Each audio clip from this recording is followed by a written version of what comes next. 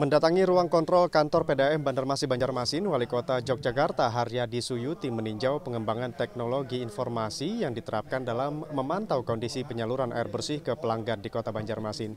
Didampingi Wakil Wali Kota Banjarmasin Hermansyah, Haryadi ditunjukkan bagaimana sistem informasi yang dikelola Banjarmasin.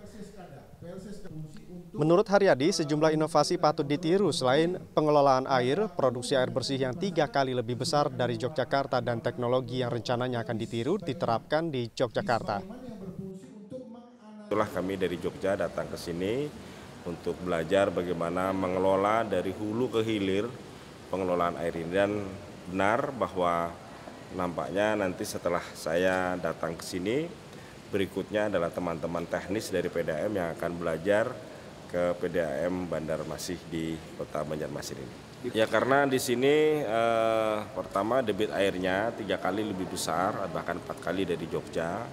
Lalu kemudian jumlah pelanggannya juga demikian, bisa lima kali lebih besar dari Kota Yogyakarta. Nah, tentu mengelola apa namanya eh, teknologi dan mengelola pelayanan adalah dua hal yang saling beriringan yang tadi secara sepintas disampaikan oleh Pak Wakil dan juga Pak Dirut bahwa sangat baik dan kita juga akan mencontoh beberapa apa yang sudah dilakukan oleh PDAM Bandar Masih di Kota Banjarmasin ini.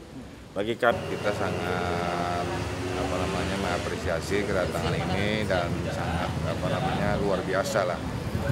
Jarang-jarang mau wali kota apa namanya eh, Jogja ini kebetulan Pak ini kan eh, termasuk juga sebagai anak asuh yang mahasiswa.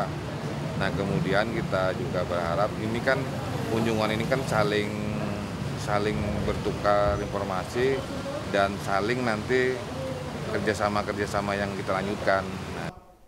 Haryadi membandingkan produksi air bersih di Yogyakarta yang hanya 550 liter per detik masih jauh dari Banjarmasin yang mencapai 2.300 liter per detik.